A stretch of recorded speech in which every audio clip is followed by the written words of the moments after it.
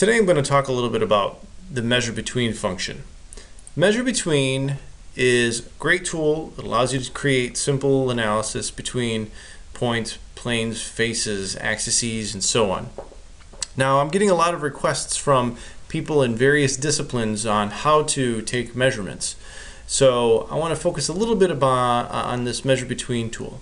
So we have design release engineers, we have project engineers, design leads, engineering leads that aren't necessarily heavy CAD users but need to understand how to take measurements because they're the ones doing clash analysis, they're verifying that the parts fit, and so on.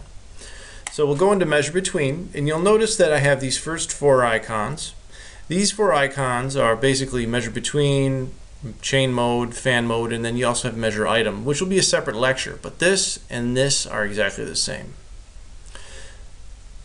This measure thickness is only available when you have a special digital mockup license, the space analysis license turned on. So if you don't have this, you need to go grab it from your shareable licenses in order to turn that on and use it. So here you can see measure between allows you to specify two different objects to basically measure in between of. So if I pick this face and this face, it sets up just a standard measurement in between those two faces. This is measuring the shortest distance between those two faces. Now, with this option set, you'll notice as I move my mouse, my cursor around, I have a little active icon next to that cursor. Depending upon what I select over the top of, that little active icon is telling me what I'm picking. So when I came over here and I picked these two faces, you'll notice that this picked a planar face to a planar face. This is giving me my minimum distance and it's telling me exactly everything in this results portion what I need to know. The calculation mode is set to exact. Next question that I get from people is, well, what else could it be if it's not exact? You have exact else approximate up here. And what this means is I'm going to measure everything with an exact precise measurement. On the off chance that you're measuring something in a CGR mode or a non-precise model like a tessellated model, then you're going to get an approximation of the measurement.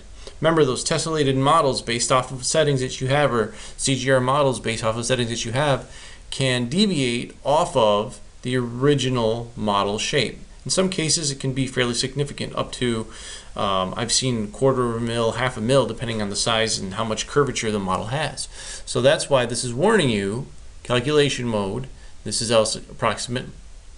If it's not exact, you'll get an approximate measurement, and this is telling you that it isn't exact. Other things that you have within the selection modes are different types of geometry that you can pick.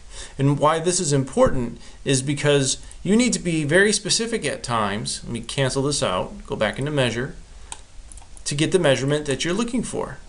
So for instance, if I come over here and I pick this cylindrical face of that hole, you'll notice I have an axis line that appears.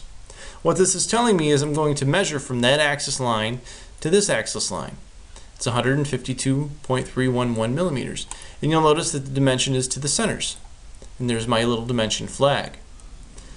Well, maybe that's not what you wanted. Maybe you wanted to measure from actual face to face. So here I can go into selection mode and specify surface only.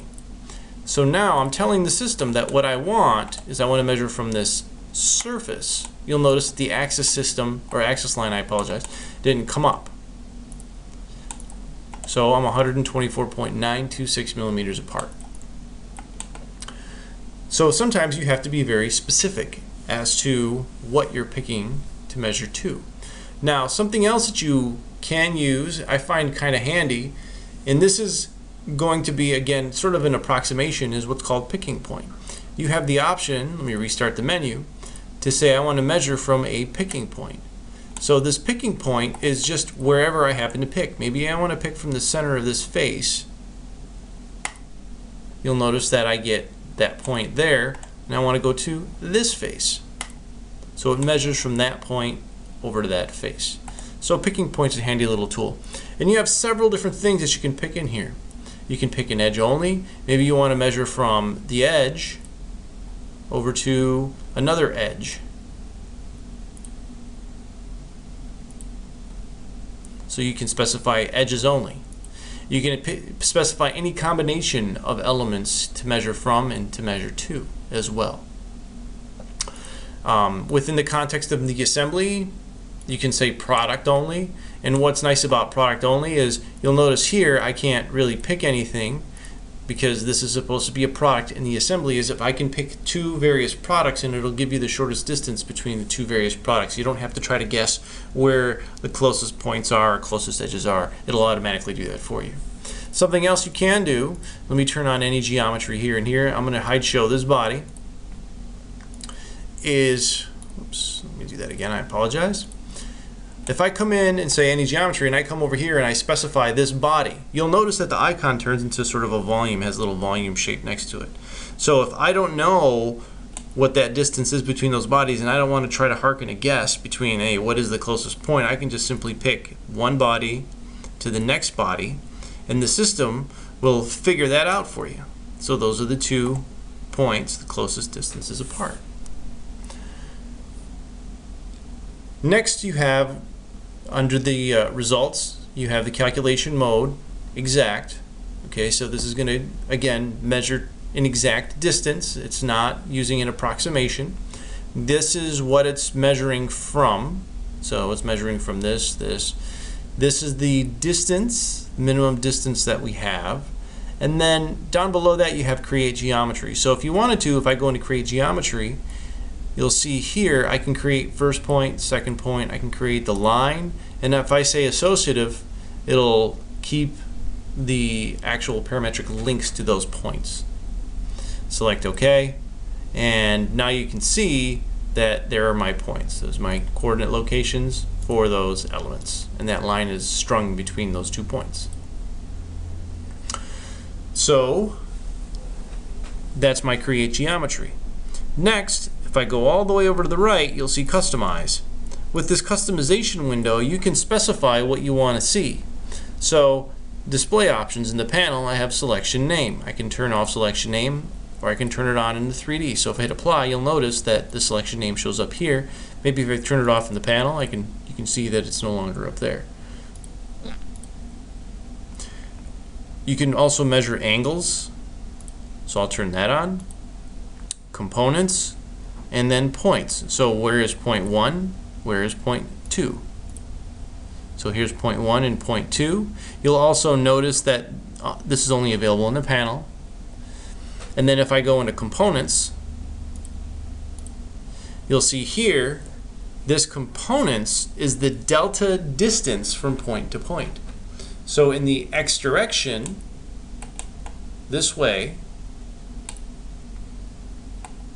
go up and down, I apologize. This direction, that's my distance. In my y direction, this direction, and then in my z direction, which is 4 and a. So those are your components. These are the delta distances from point to point. You can also do maximum distance between elements. You can also do maximum distance from 1 and 2. So you have a, plenty of options in here to generate the measurement that you need. I'm going to use another axis when I get into the measure item, which will be the next lecture. So that's basically the measure between. Now something else that you can do is measure between in chain mode and measure between in fan mode. So let me just cancel out. Let me go ahead and hide this.